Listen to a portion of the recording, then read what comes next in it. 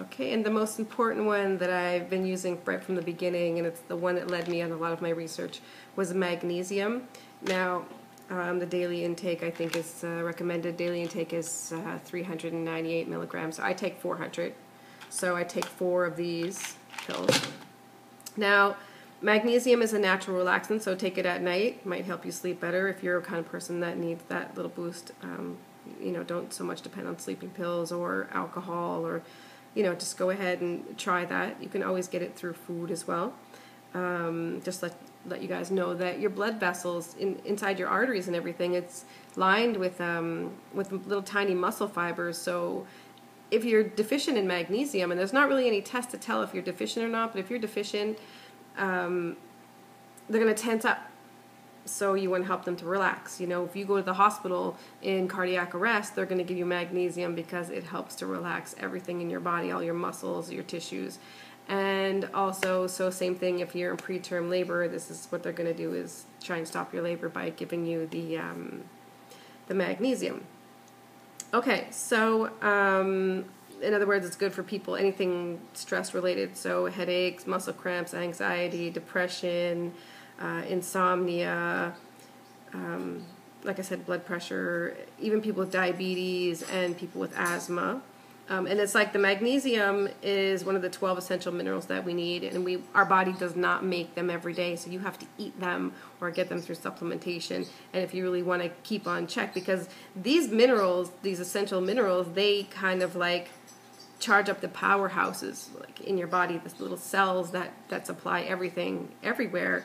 And without it, you can expect crazy disturbances in your in your brain, in your blood vessels in your hearts, your muscle, in your heart muscle, um, every muscle in your body. So there's a company that I'm going to switch to soon instead of taking it um, this way. And I don't eat a lot of grains actually, and I should. Um, it's called Ancient Minerals, and basically they do what's called a transdermal method. Now, a lot of people I speak to, they have no clue what I'm talking about. I've emailed my own pharmacist and I went to speak to them, and they have no clue what I'm talking about. They said there is no transdermal magnesium, but this company does make it. You spray it on your body, and it works. You know, don't think transdermal would be crazy idea because when you get in a bath with Epsom salts, your body absorbs through your skin. It's your large, largest organ, so we all know that you can absorb Epsom salts through your skin, and they use it for muscle tension after working out in the gym or this kind of thing. So I don't understand why people couldn't grasp the idea that this actually is a true therapy. Um, it says even here that um, it can be just as potent in my notes here that I took. I don't remember what site I got it from, but just as potent as a prescription medication. And I can tell you for myself, I don't know if my blood pressure is down, excuse me, because of um, because of what I'm doing, or is it because of what I'm taking, the supplementation and the change of my food.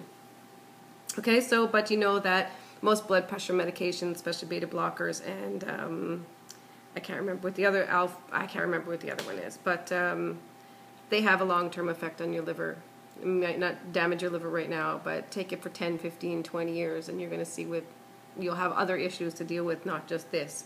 All right, so basically magnesium helps nerves send messages to the brain, really important, especially in children. Helps muscle relaxation.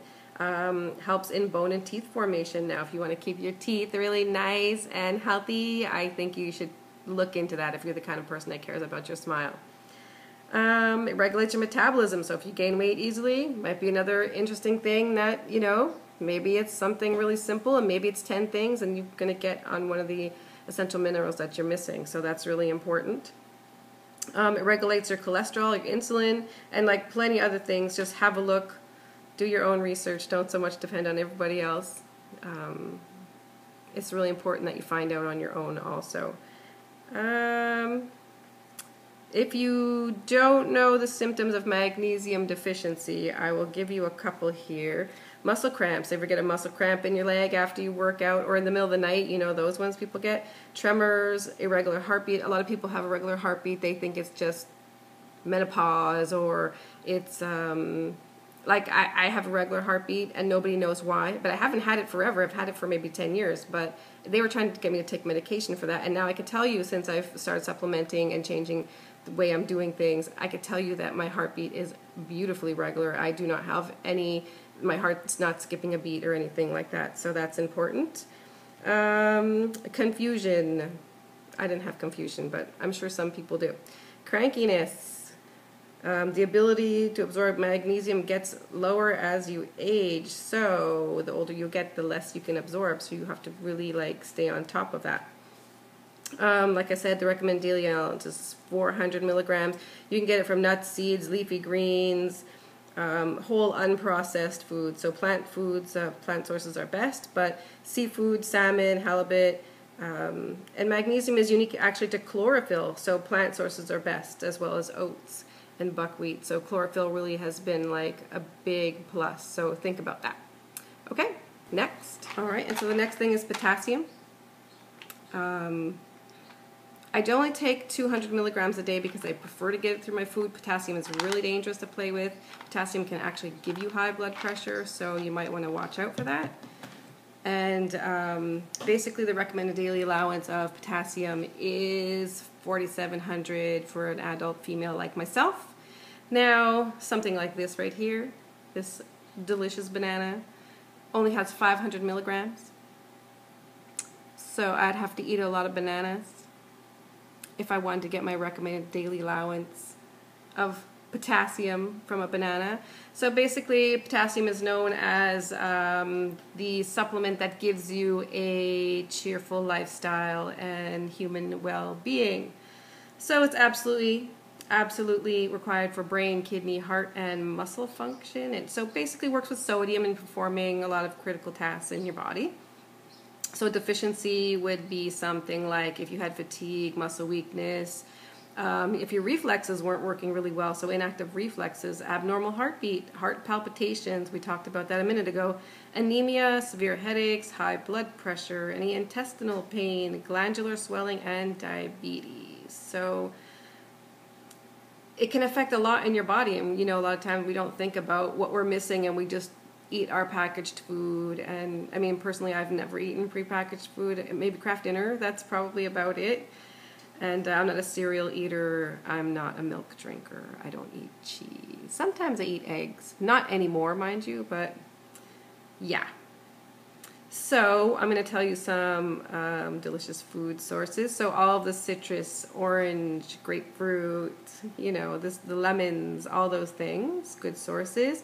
Um, all vegetables, grains, particularly salmon, chicken, fresh juices, almonds, my favorite.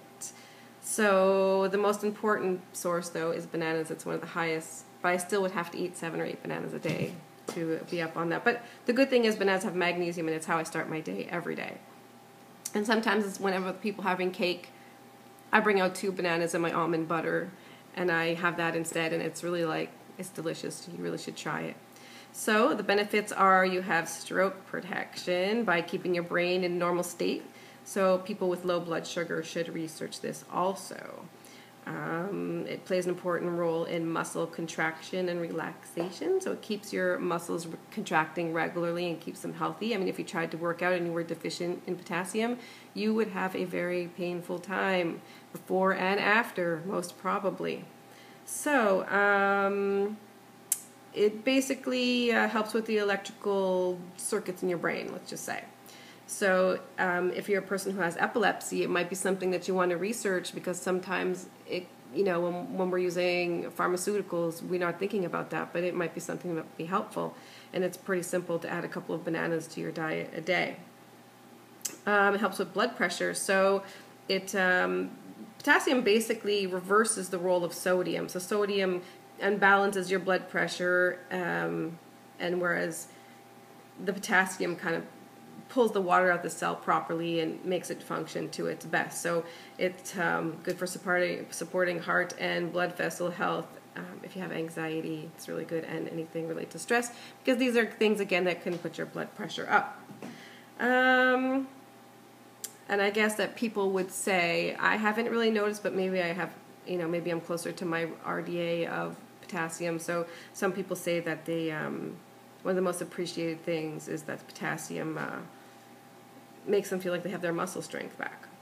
So that's awesome. Um, it also ensures proper muscle growth and it boosts your ability to use energy and increasing your metabolism. So that's really great, especially as ladies get older. We always think about our metabolism slowing down.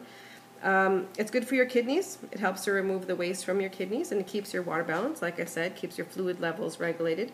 So the our recommended daily allowance I said was 4,700.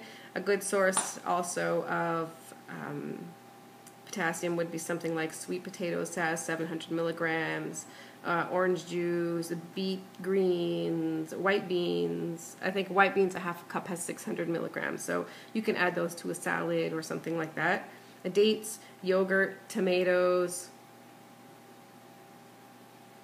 You can you can do it. You can do it. All right, next.